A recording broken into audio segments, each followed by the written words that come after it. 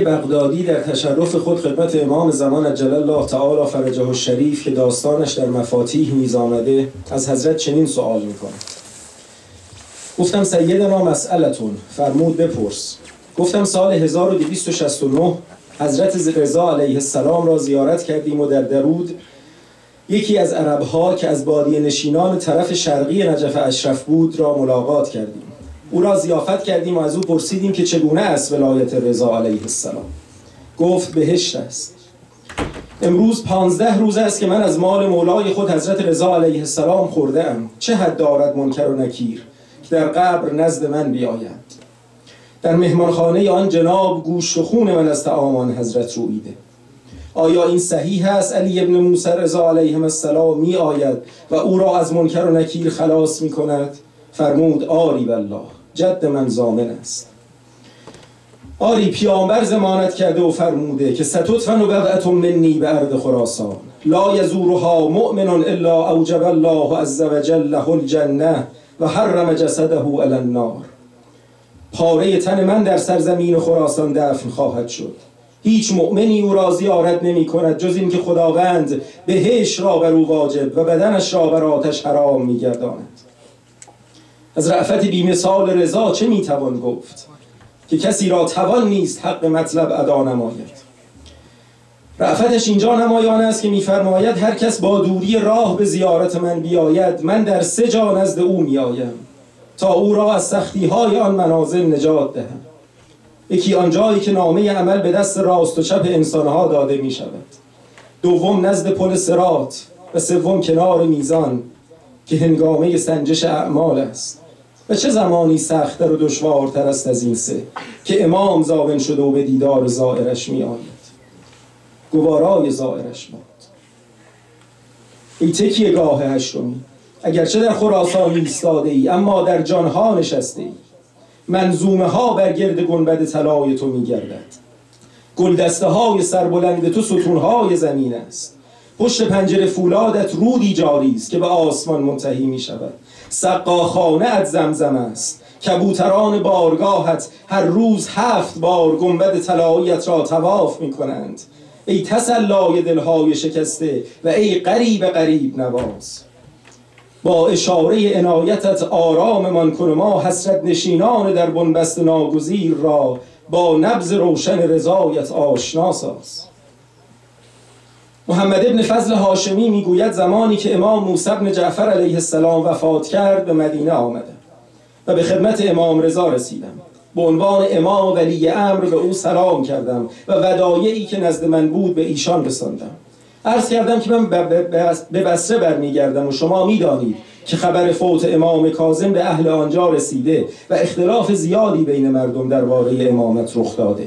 و شک ندارم که از من از براهین امام سوال خواهند کرد. اگر چیزی از آن براهین به من نشان بدهید بی مناسبت نیست. امام رضا فرمود این موضوع برای من مخفی نیست. به دوستداران من بگو که من به بسره می آیم. ولا قوت الا بالله. و آنچه که باید به عنوان ودایع امامت می داشت به من نشان داد. عرض کردم چه وقت منتظر مقدم شما باشم؟ فرمود سه روز بعد از رسیدن تو. من از خدمت حضرت مرخص شدم و به بسره رفتم.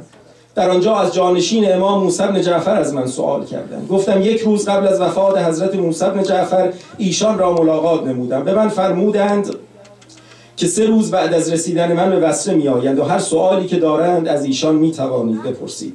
امر ابن حذاب که تمایل به زیدیه و معتزله داشت شروع به سخن کرد و گفت ای محمد حسن ابن محمد از فضلای اهل بیت است و در ورع زهد علم و سن و سال در حد بالایی است. و مثل علی ابن موسی جوانی نیست که اگر از مشکلات احکام از او سوال کنند نتواند پاسخ دهد.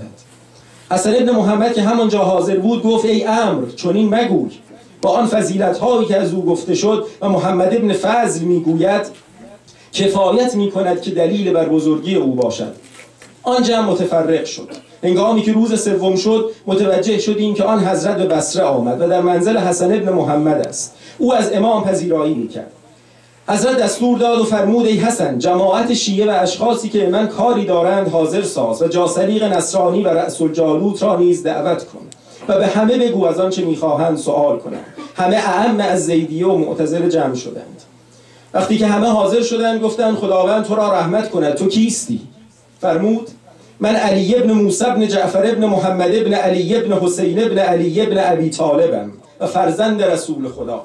امروز نماز صبح را با والی مدینه در مسجد رسول خواندم. بعد از اینکه نماز را خواندیم نامه ای را که از سوی صاحبش به او رسیده بود نشانم داد. مشورت از من گرفت. من گفتم بعد از نماز عصر به مدینه برمیگردم تا جواب نامه را نزد من بنویسد و به وعده ام عمل خواهم کرد. من شما را در اینجا جمع نمودم تا از من سوال کنید از هر آنچه می‌خواهید از آثار نبوت علامتهای امامت که آنها را نمییابید مگر نزد ما اهل بیت. امر ابن حذاب شروع کرد. گفت محمد ابن فضل هاشمی کلماتی درباره شما می‌گوید و مقاماتی برای شما قائل است که قلبها آن را قبول نمی کنند حضرت فرمود آنها چیست؟ گفت محمد ابن فضل می‌گوید شما هر آنچه را خداوند نازل فرموده می‌دانید و می توانید به هر زبان و لغتی صحبت کنید. امام فرمود راست می‌گوید من آنها را به او خبر دادم. بشه تابید و سوال کنید از من درباره آنها. امر گفت ما قبل از هر چیز شما را با زبان امتحان می‌کنیم. ما در این شهر افراد مختلف رومی، هندی، فارسی و ترکی زبان داریم. همه آنها را حاضر می‌کنیم. حضرت فرمود حاضر کنید. آمدند تکلم کردند به هر آنچه دوست داشتند. حضرت به حذف زبان آنها با آنها تکلم کرد. مسئله خودشان را پرسیدند و امام به زبان آنها به آنان پاسخ گفت. حضرت به امر ابن حذاب توجه نموده و فرمود اگر به تو خبر دهم که در همین ایام یکی از اقوامت را می‌کشی مرا تصدیق می‌کنی؟ او جواب داد خیر چون غیب را فقط خدا می‌داند. حضرت فرمود آری اما آیا خداوند نمیفرماید عالم الغیب فلا یظهر علی غیبه احدا الا من ارتضی من رسول؟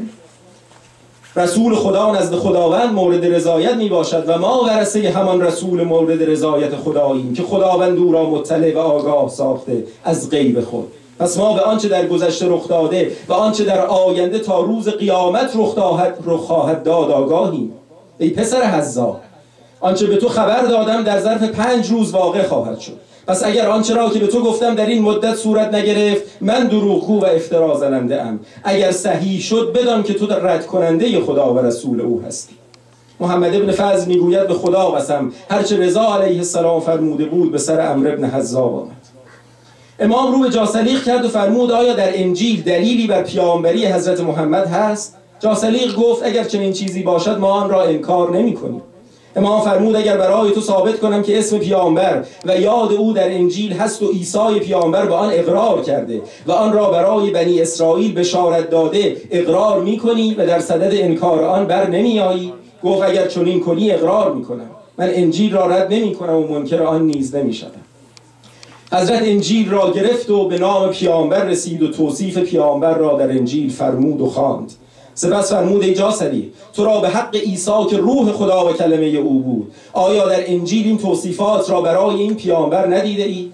سرش را پایین انداخت دانست که اگر انکار کند کافر خواهد شد بعد گفت آری این صفات در انجیل هست و عیسی علیه السلام نام این پیامبر را آورده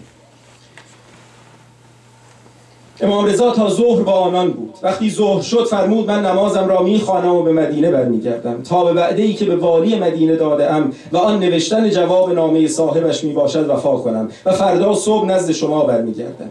راوی گفت بعد از اینکه امام نمازش را خواند روانه مدینه شد. صبح روز بعد حضرت برگشت و دوباره همان مجلس برپا کردید. در همانجا همگی به امامت حضرت گواهی دادند و حضرت شب را نزد ما سپری کرد و صبح هنگام با مردم خداحافظی کرد و به من سفارشاتی فرمود و عظیمت نمود.